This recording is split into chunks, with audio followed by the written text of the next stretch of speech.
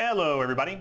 Today we're going to be talking about how orbitals are shaped. It's important for chemists to understand the shapes of orbitals because covalent chemical bonds are the result of the sharing of electrons that reside in these orbitals. The shape of an orbital is determined mainly by L, the angular momentum quantum number, also called the azimuthal quantum number. If you don't know much about quantum numbers, I suggest you check out my video on orbitals and quantum numbers since this knowledge is kind of a prerequisite for understanding the content of this video.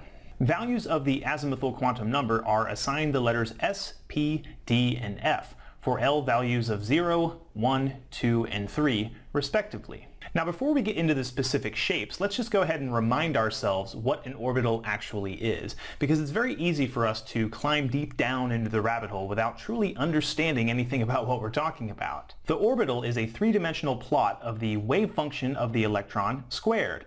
The wave function psi is a super complicated mathematical function that describes the wave-like behavior of the electron, and it's derived by solving the Schrodinger equation for the atom of interest.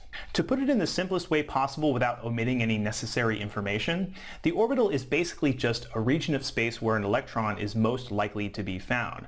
And it's much more useful to us than trying to pinpoint the exact location of the electron because the more we know about the electron's location, the less we know about the energy of the electron, which is a very, very important property. So let's get into the shapes, starting with the shapes of the s orbitals.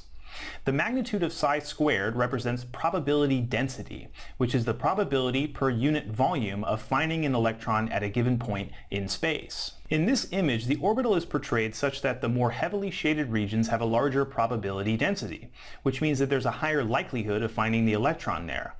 As you can see, the s orbital is spherical. It can also be portrayed as a sphere that has no heavily shaded or lightly shaded regions, under the assumption that the volume encompassed by the sphere has a 90% probability of containing the electron. If we take a look at a plot of the probability density versus the distance from the nucleus, which we'll call r, we can see that the further away you go from the nucleus, the less likely you are to find the electron.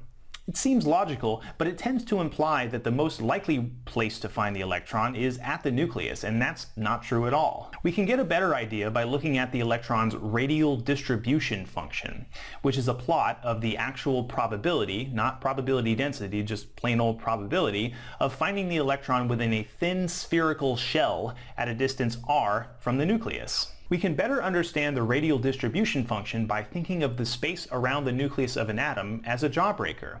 What we're looking at with this function is the probability of an electron existing within a single layer of the jawbreaker, not the volume encompassed by that layer, but in the actual thin layer itself. So here's what it looks like. Notice that the radial distribution function has a value of zero at the nucleus, because it's impossible for the electron to be existing in the exact same space as the nucleus.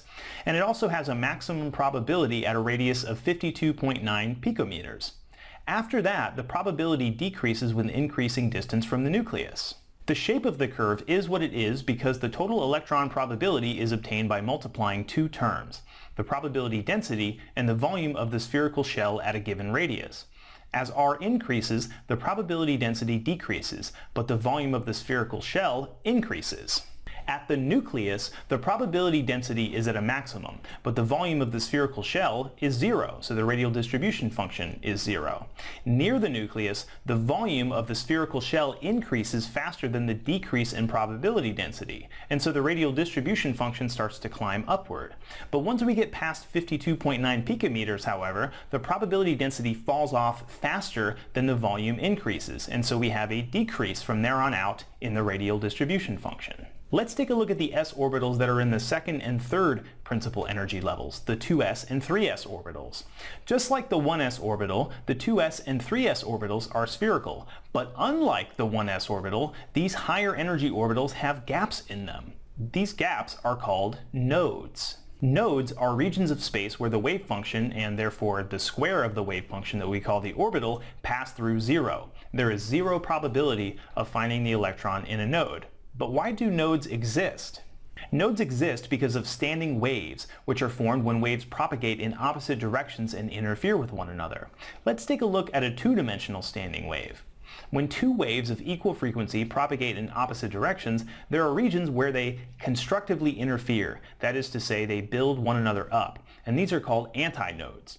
And then there are regions of space where they destructively interfere, which means that they cancel one another out, resulting in an amplitude of zero. These are the nodes. So these orbitals are basically just three-dimensional standing waves. Let's take a look at the p orbitals which exist in the second principal energy level and beyond. Notice that the 2p orbitals shown here are not spherically symmetrical like the s orbitals. Instead, each p orbital has two lobes of electron density, one on either side of the nucleus, and a node at the nucleus. The three p orbitals are indistinguishable from one another and only differ in their orientation. Notice that the p orbitals are orthogonal, which means that they are mutually perpendicular, so oftentimes they'll be shown as oriented along the x, y, and z axes, and will be given the names px, py, and pz. p orbitals in higher principal levels have roughly the same shapes as the 2p orbitals, but they're larger in size and they have more nodes. Let's take a look at the d orbitals, which are found in the third principal level and beyond. Four of the five d orbitals are shaped like clover leaves and have four lobes of electron density around the nucleus and two perpendicular nodal planes. In my opinion, the most interesting d orbital is the dz squared orbital, which has two lobes oriented along the z-axis and a donut-shaped ring along the xy plane.